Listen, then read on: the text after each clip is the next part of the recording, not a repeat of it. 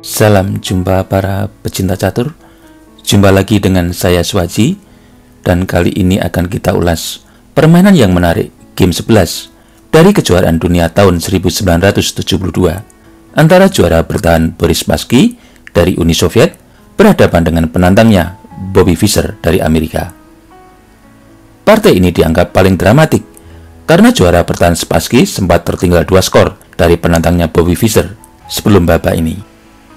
Mari langsung saja kita saksikan serunya permainan dengan tema Pion Bracun dalam Sicilia variasi Nadorf yang sangat populer, yang dilat di arena Lokerdasol di Reykjavik, Islandia ini.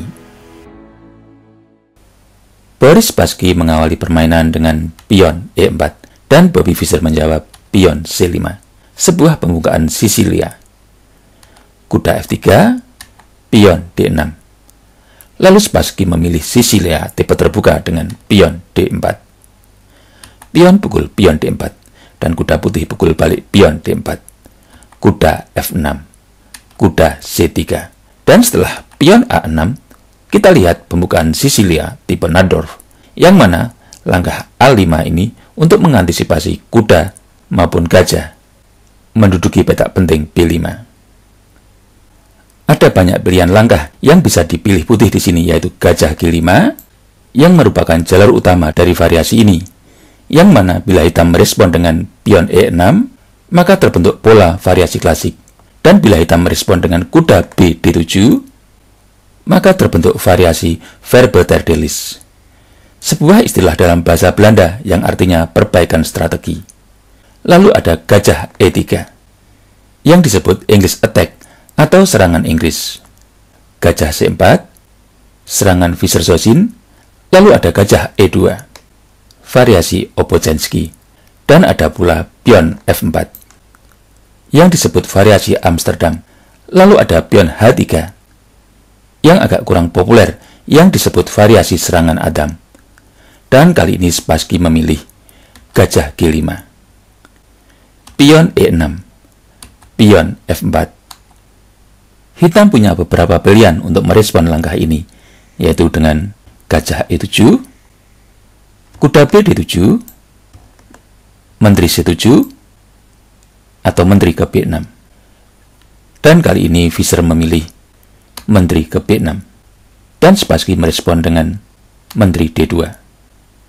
Ini adalah sebuah posisi yang monumental, di mana ada catatan sejarah penting terhadap pengorbanan pion B2 yang disebut jalur pion beracun dalam Sicilia variasi Nadov yang sangat populer. Sebuah langkah yang dirintis David Bronstein pada kejuaraan dunia tahun 1951 saat menghadapi Mikhail Botvinnik. Dan berikutnya, Bobby Fischer tercatat cukup sukses memberikan analisa dan kritik pada jalur pion beracun ini. Dari data statistik, kebanyakan hitam menolak menerima pion beracun B2 ini dan lebih memilih langkah pengembangan kuda ke C6. Namun dalam permainan ini, hitam memilih menerima pengorbanan dengan menteri pukul pion B2. Lalu putih merespon dengan kuda B3 untuk mempersempit ruang gerak menteri hitam. Menteri A3 Posisi ini juga terjadi pada game 7 sebelumnya, yang mana Spassky melanjutkan dengan gajah D3. Lalu Fischer merespon dengan gajah E7. Rokade, pion H6, Gajah H4. Dan keduanya sepakat draw setelah mencapai langkah 49. Karena referensi ini penting, nanti permainan yang terus lengkapnya akan saya tampilkan di akhir segmen. Kembali, dan dalam game ke-11 ini, Spassky memilih gajah pukul kuda F6, pion pukul gajah F6, gajah E2, pion H5. Mencoba menambah ruang di sayap raja dengan adanya gelagat putih akan rokade sayap raja. Dan memang akhirnya putih rokade sayap raja. Kuda C6 Raja H1 Langkah probalektik mengamankan raja dari diagonal A7G1 dan lajur G yang panas. Gajah D7 Pada posisi ini, Spassky membuat langkah kejutan bagi para komentator waktu itu dengan memundurkan kudanya ke B1 namun pada analisa-analisa selanjutnya, para ahli catur memberi catatan bahwa dengan jawaban yang tepat dari hitam, Langkah ini hanya membawa pada posisi keseimbangan. Menteri B4 Menteri E3 Nah, inilah posisi krusial dari jalur pion beracun. Di sini, hitam perlu menjawab dengan kuda E7.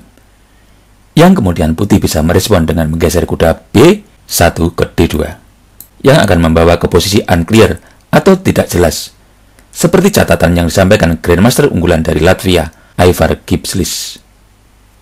Namun dalam permainan ini, Fischer menjawab pion D5. Lalu putih mengambil kembali ke pionnya dengan pion pukul pion D5. Kuda E7 pion C4 untuk memperkokoh pion D5. Kuda F5, menteri D3. Di sini, pion pukul pion D5 layak dipertimbangkan untuk membawa permainan terbuka sehingga gajah sepasangnya lebih lincah. Namun hitam memilih menambah ruang di sayap raja dengan pion H4 yang membuat petak G4 jadi lemah. Lalu Gajah Putih memanfaatkan kesempatan ini dengan meluncur ke G4. Kuda D6. Kuda 1 D2. Dengan adanya lajur C yang semi terbuka, dan potensi pion C4 maju, benteng ke C8 layak dipilih. Namun dalam permainan aslinya, hitam memilih bermain ofensif dengan pion F5 untuk menekan gajah. Namun putih mengabaikan gajahnya yang terancam dan memilih memberi counter attack dengan pion A3. Menteri B6. Pion C5. Garbuan terhadap menteri dan kuda. Lalu menteri hitam menghindar ke B5. Mencoba menawarkan pertukaran menteri karena kalah penguasaan ruang. Lalu Spassky menggeser menterinya ke C3. Untuk mengontrol diagonal peta gelap A1H8, yang penting, yang terdapat benteng hitam tanpa perlindungan serta diagonal C3 A5 untuk mempersempit ruang gerak Menteri Hitam. Setelah pion pukul gajah G4, pion A4. Terlihat Menteri Hitam terjepit di sini. Bila Menteri Hitam mencoba mengamankan dirinya ke E2, maka permainan bisa berlanjut dengan benteng A E1, kuda E4, kuda pukul kuda E4, Menteri A2, benteng A1, Menteri E2, benteng FE1. Menteri Hitam juga tidak bisa meloloskan diri. Kembali, oleh karena itu, Hitam melangkah. Pion H3. Pion pukul Menteri B5. Pion pukul pion G2 skak. Untuk mengosongkan peta H3 dan membongkar lajur H. Raja pukul pion G2 Benteng H3 memberi ancaman terhadap Menteri Putih. Setelah Putih mengamankan menterinya ke F6, kuda hitam juga mengamankan dirinya dari amukan pion putih ke F5. Pion C6 terus menambah penguasaan ruang sayap menteri yang memungkinkan tercipta pion bebas yang sudah dekat ke petak promosi. Gajah C8 Pion pukul pion E6 untuk memperlemah pertahanan hitam di lajur pusat pion pukul balik pion E6, benteng F E1, mengepin pion dan raja, sehingga kuda hitam F5 jadi lemah.